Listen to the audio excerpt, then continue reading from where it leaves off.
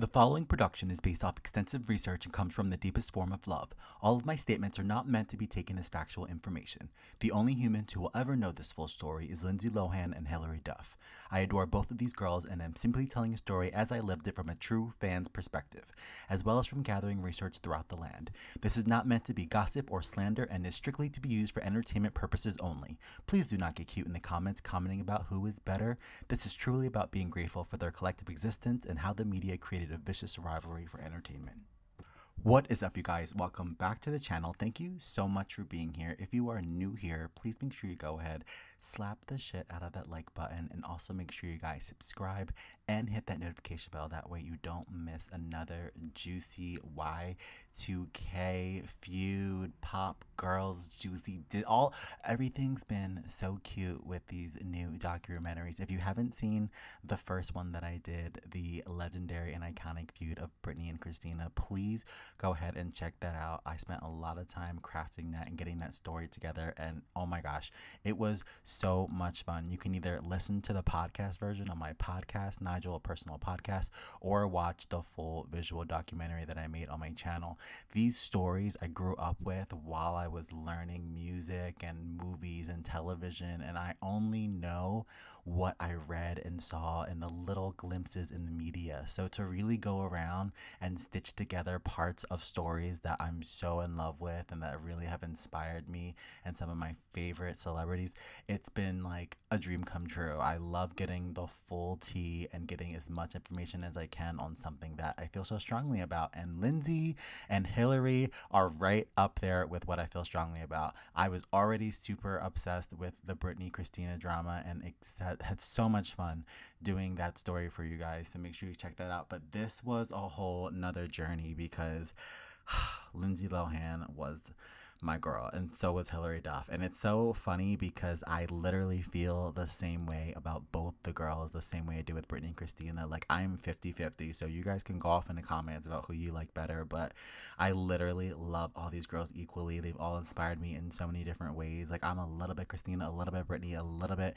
Janet Jackson, a little bit Lindsay Lohan, a little bit Hilary Duff, like all the girls in one. Don't care. I'm here for it. But let's get into this.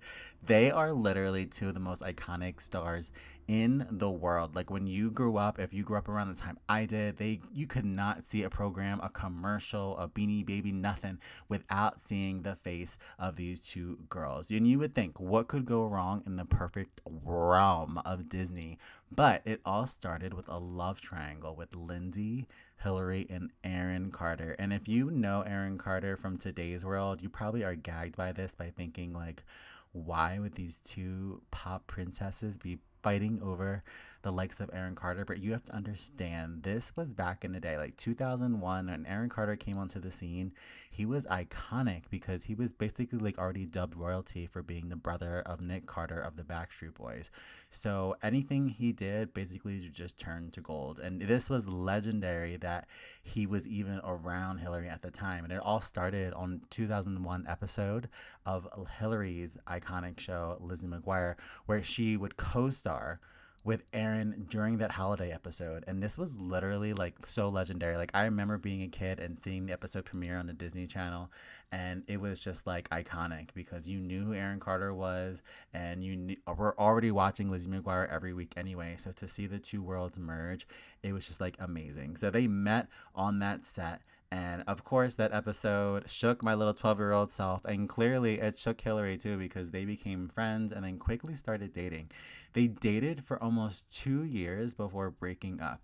Aaron told a media outlet in 2005 that he got bored, and when he started dating Lindsay, that's when he started to have fun again. now, at the time, Lindsay was already heading into her bad girl phase, so this was the start of an epic sloppy path for her. Literally getting in between Hilary and Aaron was very messy for her. And it's not like there were already magazines all over printing their relationship. So I'm thinking, like, on a side note, Lindsay definitely knew that Aaron and Hilary were a thing. And maybe this was the beginning of her just wanting to be a badass bitch. Like, maybe she just wanted to be that girl and split up a beautiful pop princess with a bad boy, knowing that she could get Aaron because you could probably get that vibe with Aaron. Like, okay, I could walk away. He'll walk away with me. He'll be with me. Like, he does not look like he's going to be a good boyfriend to Hilary from the get go. So I feel like it was trouble from the start, but that's just my personal opinion. Anyway, so Aaron and Lindsay were together for two months and then he broke up and got back with Hilary. Literally so messy. The two dated again for several months before calling it quits again because Aaron cheated again with someone else, allegedly. My question for Aaron is who the hell do you think you are? Literally double dipping with two of the most iconic women of Disney television. Like, he's got to be kicking himself in the butt today because both are literally iconic and legendary in their own ways and absolutely killing it a thousand more times than he is. So I know he's feeling extra salty. So my favorite part about this feud is definitely the silent red carpet battles the girls had.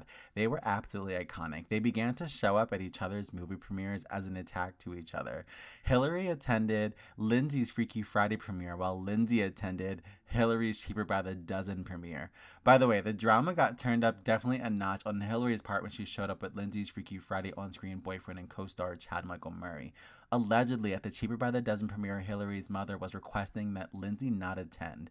This even escalated even further when she were asking her bodyguards to get rid of her at the premiere. Lindsay responded by saying, I will not leave, I was invited. And then Hilary and her family left the premiere themselves. This left Lindsay to continue partying the night away with Steve Martin, Ashton Kutcher, Demi Moore. Like, literally, imagine being these girls. Like, you're feuding over boys, you're feuding over the spotlight. And this was Lindsay's way of one upping. Like, that night, I feel like, in a way, like, she actually won. Like, she's hanging out with the cast members of your movie, like it makes me feel so bad because knowing the girl that I feel like Hilary Duff is, I just wish she could have had like a little bit stronger of a backbone and maybe stood up to Lindsay more so she could live up that time of this movie and being around these actors like Steve Martin and Demi Moore. Like that moment was not meant for Lindsay. That was Hilary's moment and that was her movie premiere and she should have been the one to have those drinks and hang out with those people at that time, not Lindsay. Even though I do love Lindsay Lohan and I support both of them fully, this feud makes me really upset because they don't need to be treating each other like that because they both deserve to be in the spotlight and there's plenty of room for both of them. Shortly after all this messiness, Chad Michael Murray was then cast in a Cinderella story opposite, of course, Hilary Duff. When they began filming the movie, it was at this time that Lindsay allegedly called Chad to trash talk Hilary but I really found no evidence of this during my research. But someone did say that this occurred, but there wasn't like any phone recordings or anything like that. So it's really hard to say if or not that happened. And I kind of want to believe that it did it just because I was a One Tree Hill fan and I do love me some Chad Michael Murray. And I just feel like it wasn't in his like personality to sit on the phone, as yes, most younger men don't do, to sit there and gossip about another girl on the phone. I don't feel like that happened, but if it did, shame on Lindsay for almost maybe I don't know what she was trying to say on the phone or what could be said. Maybe it was trying to get under his skin for the movie, but either way, the movie went on. It was great. We all love a Cinderella story. In 2004, Lindsay hosted SNL and made fun of Hilary in an exaggerated skit in her opening monologue.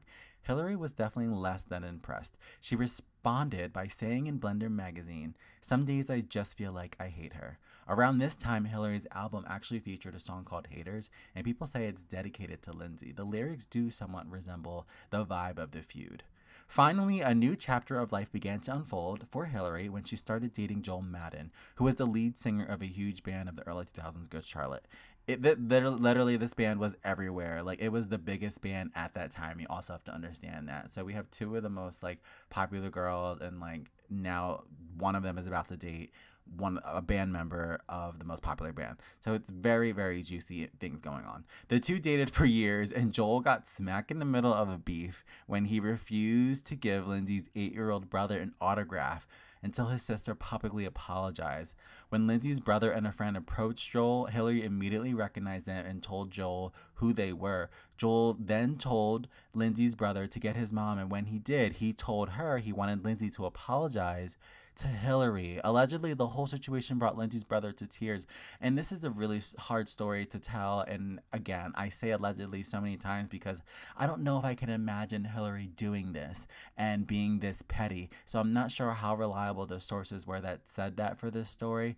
But however, if she did act this way, I would just attribute it to nothing other than teenage behavior and, you know, being petty girl at the time and trying to get back from maybe that night where she was hanging out with all of her co stars at the Cheaper by the Dozen, dozen premiere. Maybe this was her finally way of having a little backbone and fighting back. I'm not sure. I'm not sure if it happened. I'm not sure if any of this happened. But if it did, I would attribute it to nothing but that teenage behavior because I know for a fact that the grown Hilary Duff would never act in such a way and retaliate in such a way. But I do see how in their young minds that they could think that this is you know doing the right thing even in joel's mind like who are you? Like how dare you even step in on the matter? But he was young too so he was just probably doing his old 20s thing you know Shortly after, My Scene began to sign a deal with Lindsay Lohan. And My Scene at the time was almost like a, a Barbie line. So the Barbie, Brad Styles, My Scene. My Scene made a doll of Lindsay, and then they even put like a movie to go with the Lindsay doll. And it was like a big deal. But of course, not too long after, actual Barbie signed a deal with Hilary and Haylie Duff. And soon enough, Lindsay doll was definitely forgotten.